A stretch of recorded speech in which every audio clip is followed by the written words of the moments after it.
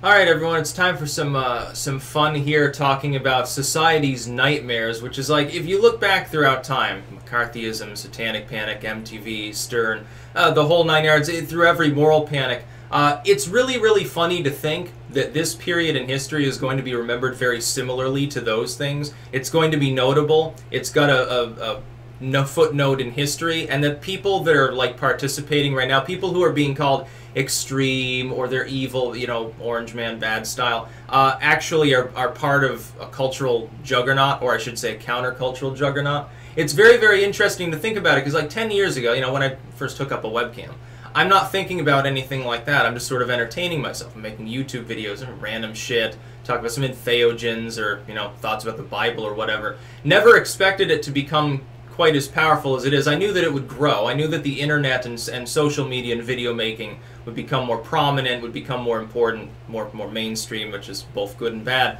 Um, but never expected, you know, that it would become literally part of a subversive countercultural movement in which now you've got mainstream mainstream news forces saying that YouTube has a problem. It has a problem with extremism. It has a problem with bigots it has a problem with like you know the, the whole culture like like they even are attacking youtube as a culture which it's become or i would say a counterculture. The idea of like content creation on the web especially on sites that have any brand loyalty at all like like bitchute it's got its own little subculture. Gab has it and dissenter have their own little subculture. Minds has a sort of subculture. Youtube all these other sites. They have their own sort of cliques you could say. Now they overlap. It's like i'm a youtuber i'm also the biggest user on bitchute uh, somebody can be really big on Gab. They've also got a, a, powerful, like a Facebook brand or something that they do. They got their own website or whatever. Uh, that's definitely true, but they fall into these different groups. And they're part of the collective nightmare of authoritarians, of soccer moms, moralists. You know, the sort of people that want to drag you down and make you like a workaday, fucking boring drone and shit like that uh, are pissed off at YouTubers right now. And it's really, really fun to be part of that. I mean, I enjoy every single day. I, I chuckle about that fact, basically.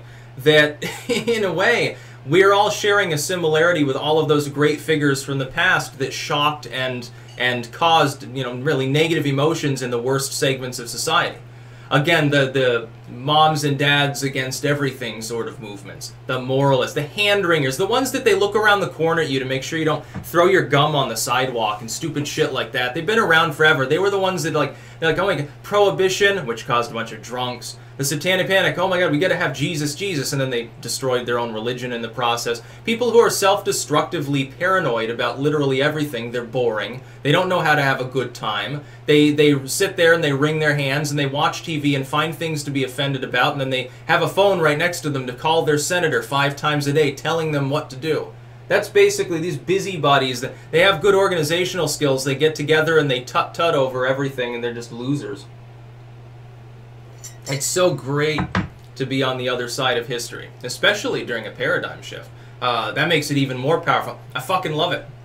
All the gritty shit that goes on the internet, like like minus the really truly abusive stuff, but all the weird shit like videos deliberately made to shock people and, and diatribes about you know hate and, and intolerance and stuff even are very very funny because they serve an important point which is that you can you cannot censor ideas and say uh, this is unacceptable, this is taboo, it shouldn't exist at all. It never works, number one. You always lose. The moralists always get overthrown, and then the next generation usually becomes moralistic. What I see with content creation, though, is this.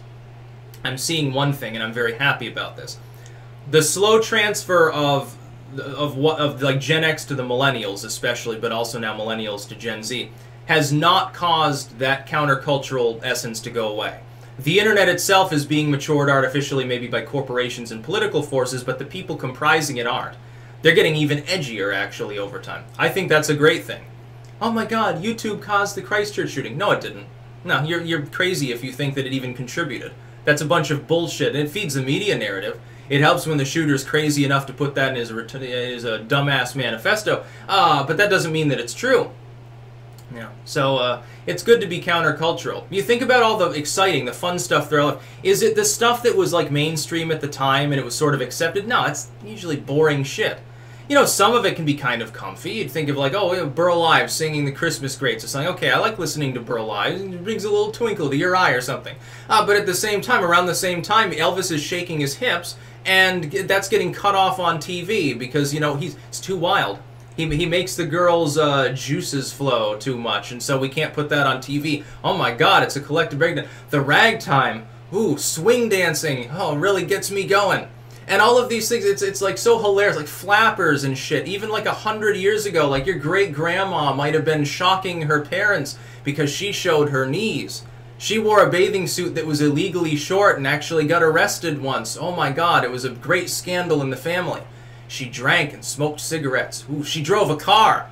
Isn't that really funny to think of your flapper relative that you might have had or back in like the 60s maybe uh, one of them was like a subversive like a fucking hippie or something like that or actually technically speaking because among the youth actually the war was more popular maybe going to fight uh, and were opposed by older people by the way little known fact about vietnam actually anti-war uh, sentiment was higher among the older generations specifically because they had been around before World War II and remembered a time in which the U.S. didn't do interventionism.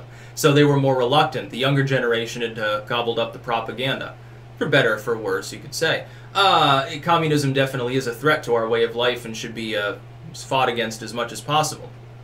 But words are better than bullets for fighting communism. We've seen that throughout time too. It implodes on its own eventually anyway, leaving behind you know scattered remnants of people who go to Starbucks and type a slam poetry on their iPad. So you know, not a big problem.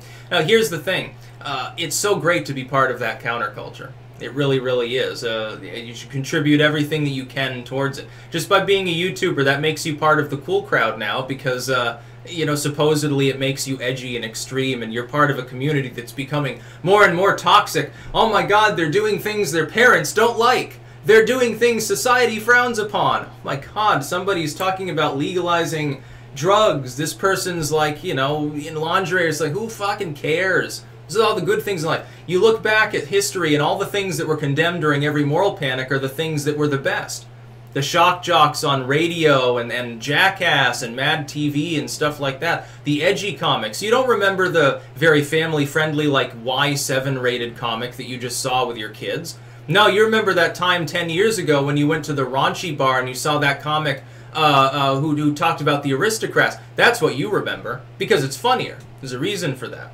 You don't remember the video game that's very you know, the, the boring video game. You remember the one with over the top violence or that's really creative or something like that and allows you to sort of be like a living god within the context of the game. You remember the edgy stuff. You remember the exciting stuff. Boring stuff is like fucking get rid of it. Boring stuff shouldn't we should outlaw being boring. That would be a good law. That's about all. Peace out.